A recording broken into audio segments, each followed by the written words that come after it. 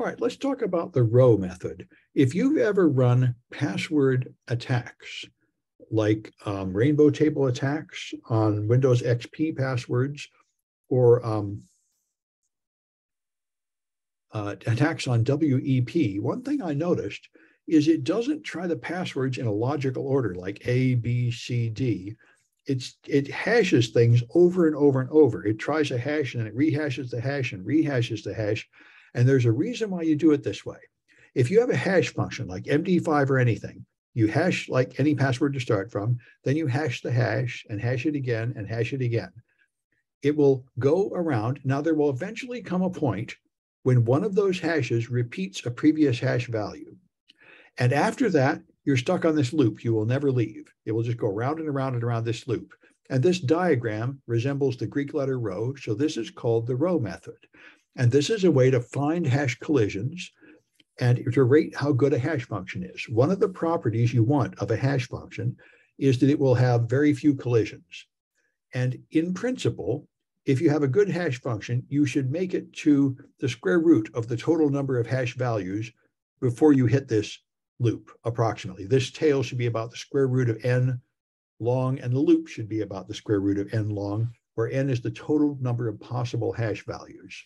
So in here, you just do a bit of these. So here we're going to calculate an MD5 hash in Python. So I'll just uh, exit and come back to clear the screen. And then run Python 3. All right. So I import the hashlib, and we've done this before. I'm going to take um, A, encode it as ASCII, and do the hex digest. So it's going to do MD5 of A, the letter A, which is CC17, and so on.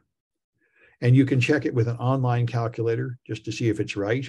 And A does encrypt to CC17 or hash to CC17. Now, if we did MD5 hashes, it would be 2 to the 64 calculations to get to the tail, and that would take too long. So we're going to truncate it to make it really short, just two hexadecimal characters.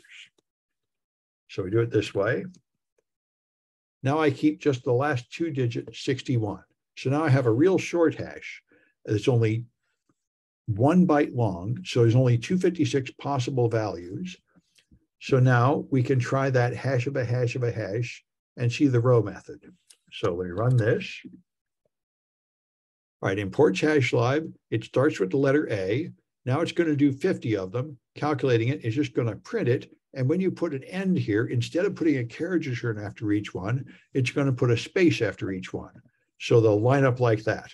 So there you go. Now we can look for where this repeats. And one simple thing to do is just change the width of the window. So I am, it'd be pretty obvious when we hit it. There, I think I saw it happen there where things, EE. Yep, 1E, 1E, 1E, 21, 21, 21, there we are.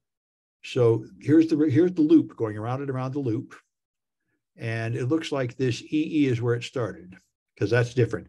So it did this many in the tail, that part. This part here is not repeating. Then this EE created one E, and I ended up in a loop. So there's the loop. That's the rho method showing the structure of repeated hashes. And there are a few challenges to do here to see that go. This turns out to be quite useful to understand the mathematics of uh, of hash values and finding hash collisions.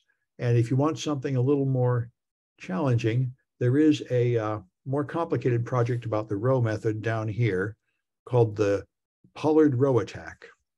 And that's a uh, fancier one. This attacks the discrete logarithm problem, and I don't think I'll go through it right now, but um, there is another attack down here based on this technique. So it just lets you see some mathematical properties of hash functions. And I'm going to stop this video